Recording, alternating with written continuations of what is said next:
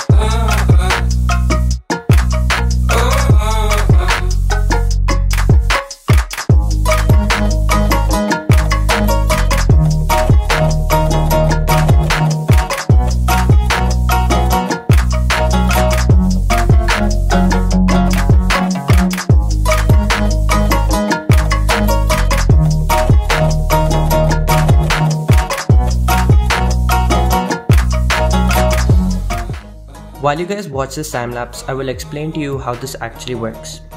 Basically, the main component is the Peltier. When we pass current through it, it creates a temperature difference on both the sides. This temperature difference condenses the water present in the air as humidity. You can think of it like when you pour cold water into a glass and you see water droplets start to form on the sides. This is the exact same concept.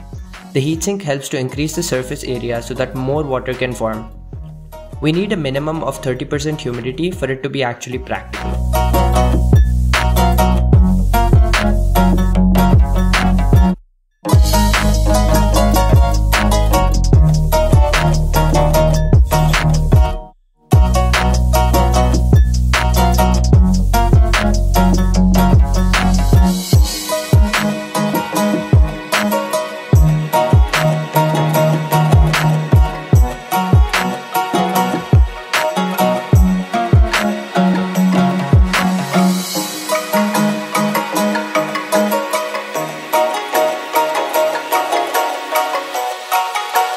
Now you might think this setup isn't very useful, but one good use of it is to keep it on top of a plant so it will continuously provide water to it like drip irrigation, but instead the water is coming from air.